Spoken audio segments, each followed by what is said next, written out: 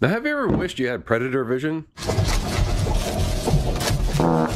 Well, now you can with this Finder S1 series from HSF Tools. Make work safer and easier, say. This is a thermal imager model Finder S1 and made in Vietnam. That's cool. With itty bitty print. It's got a 96 by 96 IR detector, super resolution image enhancement technology, high frequency, 25 hertz, focus free, which just doesn't mean you can't focus on anything, battery free because it uses the uh, the power from your Type C device, I guess. And the accuracy is plus or minus two degrees. That's pretty dang good. Let's see if we can get this thing out of the box here. Thank you for your purchase. For any questions, concerns, please contact us at hsftools at carve.com.vn. We are here to help. So, this particular thermal imager is designed to connect up to your phone, or I suppose any Android tablet, and you gotta scan the little QR code to download the app for it. In fact, I suppose I just need to go ahead and do that now. That QR code takes you straight to the Play Store. We install our thing here. While that's installing, we can take a look at the instructions. Well, I was kind of hoping it would include a little bit more detail in here about the specs of this guy. Well, let's see what's in the case. Oh, wow. This case is gigantic for such a tiny little thing. That's uh that's kind of dumb. you know, we really only need the case to be about this big, don't we? We really don't need all this extra room. It's like, what for? Yeah, as you can see, that's the little doohickey right there. And just in case you have a really thick case on your phone, this has a little extender that just extends the doohickey up. I wonder if I'm even going to need that though. Let's see if it'll just plug straight in. Yeah, that looks like it plugs into my phone just fine. Since the details in the manual are lacking, I just went ahead and pulled up the Amazon listing for this thing. As you can see, it's 140 bucks, but they have a $140 coupon right now. So, yeah, that's a good deal, right? Especially for a thermal camera. Yeah, so we have a lot more information here. The heat map has 9,216 points for swiftly identifying hotspots and simplifying detection. It's perfect for cooking, auto maintenance, or home repairs. This compact device ensures accurate surface temperature measurements on various objects. So the actual camera on this thing is 96 by 96 pixels, which, you know, ain't shit. But the super resolution on this thing actually boosts up the resolution to 720 by 720. And the frame rate is 25 hertz, or, you know, 25 frames per second. Here we can see it has a temperature range of negative 4 to 752 and distance range of 0.1 to 15 meters. Yeah, that's a nice mixture of metric and imperial measurements there. Thanks. Oh, it looks like you have two different temperature ranges. I don't know if you have to set that manually or if it sets automatically. It only consumes 0.31 watts. You can set high and low temperature alarms. That's kind of interesting. And it says for optimal image quality use within 6.56 feet. All right, let's take a look at the app here. In privacy policy, they're going to steal all your data, of course, so agree. Flexible real time measurement settings support automatic real time monitoring of center, hot spot, cold spot, flexible custom spot lines. Yeah, okay. Rich preset and custom palettes. Uh huh. High temperature accuracy. Yep. Build your image style. Ooh, fancy. All right, we're to start. Let's plug in the thermal imager. Allow app access to camera. We got to do that. Oh, we gotta allow this thing to take pictures of me.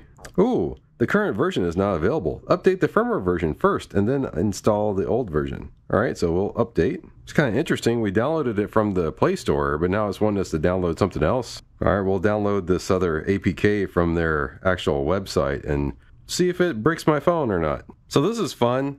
It says unsafe app blocked. This app was built for an older version of Android, which doesn't include the latest piracy protections. Installing this app may put your device at risk. Hmm, what do you guys think? Should I install it anyway? Yeah, sure, why not? Oh, app not installed. Mm hmm.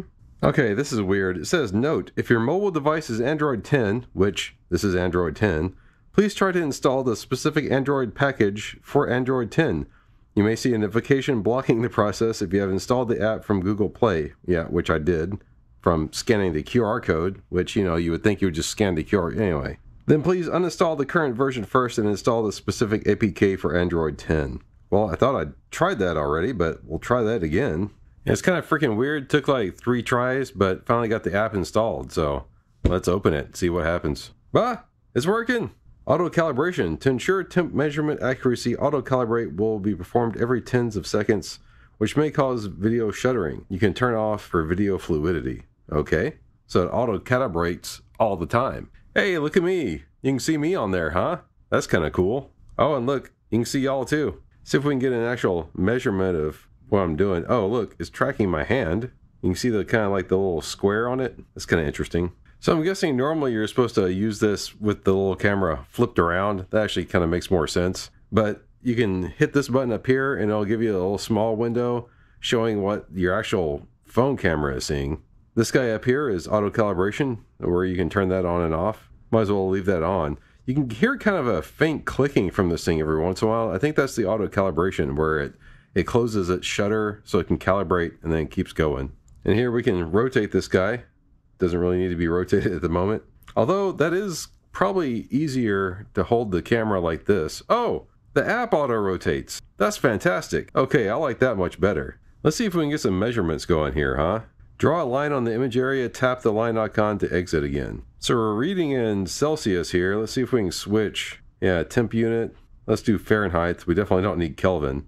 Okay, so you can kind of draw a line if you want to measure the temperature in like a certain area like right now I'm pointing right at you guys in the GoPro and you can see the max is 80 what was it 87 degrees Fahrenheit and the min is 77 with the average of 82 that's pretty darn cool you know I was having a hard time getting the line to go away I was thinking you would just hit this button and it would go away but it doesn't what you have to do is you have to hold down on the line and it brings up this little menu and then you can change the settings of the line you can show you your hot, cold, and average, or you can turn those off, or you can hit the little trash can, delete the sucker. It's not really all that intuitive, is it?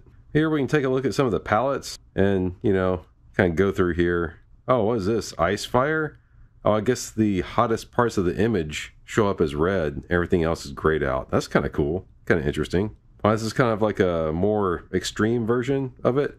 Ah, that's kind of neat. You can turn the little scale on and off over there. I kind of like looking at the scale. Man, it's actually showing the hottest part is 113, 120. Is that really how hot the GoPro is running? That's pretty incredible. And then on the image, you can adjust the brightness. Whoa, it, yeah, kind of doesn't seem to be necessary. Looks fine to me. You also adjust the contrast. You probably don't want to play with the contrast too much because you want to be able to discern all your different gradients here. And color distribution. It's on histogram right now. Let's switch it to linear. Um, huh, okay. I guess that gives you a little bit more of an extreme between the cold parts of the image and the hot parts. And then if you have the color distribution on histogram, it's a little bit more of an average. Hmm, I don't know. Which one do you think is more useful? You can hit this little button right here to take a picture. Let's uh, say hi. Everybody smile. That's fantastic. And it looks like, ooh, you can also record video here too. Is it record? Yeah, wave. All right, that's neat. That's super useful. I like that a lot. Now you're probably wondering what good is a thermal camera for diagnosing stuff on a car, right? Because that, that's what I do on my channel. But these things can be pretty handy for all sorts of stuff. You can find electrical connections that are shorting out or overheating. You can also trace out the lines of your AC system or heater, you know, make sure those are working good. And you know, if you think you have like a brake caliper that's dragging or something, you can just grab this thing and quickly walk around the car and find out which one it is without having to do anything else. Sometimes when certain components go bad, like they'll overheat and this thing will be able to pick that up too. Really, there's all sorts of uses for this thing, and I have one that I want to try out right now, so let's go do that. So I turned the center metering spot on and decided to take a look around my 81 Fiat Spider here. And with that center metering spot on, you can see up here in the corner, it's showing the temperature that it's measuring. So the spider has a misfire, and I was kind of hoping something would jump out at me just looking at the uh, screen here. But with the metering spot, I was actually able to see if I take a look at each individual runner on the headers, like each one is around, oh, like 640 or 680, something like that. See, like this one's like 660 right now but the number three cylinder is over 788. So there's obviously something going on with cylinder number three because all the other ones are pretty consistent at, you know, around like 650, some, six something. Not sure that really tells me anything, but it's definitely an indicator. And I saw that basically instantly using this thing. Just one of those things that you can see like really quickly with thermal imaging. And I'm taking a look at the radiator hoses right now, you know, just kind of seeing what I see. But yeah, I think this thing is a nifty little tool. I'm really glad I picked it up. And if you want one for yourself, there's going to be a link for it down in the description below. About the only negative feedback I have is with the app. It was kind of arduous to get going, but I did get it working, so you can get it working too. I would not even bother with this QR code on the instructions and just go straight to their website. And the other thing is that this case really does not need to be this big at all. I'm going to find something small that I can slip this thing into to just protect it and then stick it in my favorite multimeter case. That way I have it with me whenever I'm troubleshooting things. But other than that, I'm super happy with this little tool, especially for the price. Well, be sure to subscribe if you're not already and give us a thumbs up too. Really helps the channel out. Bye. Thanks for watching. I'll end the video on just some of the exported footage from the thermal imager.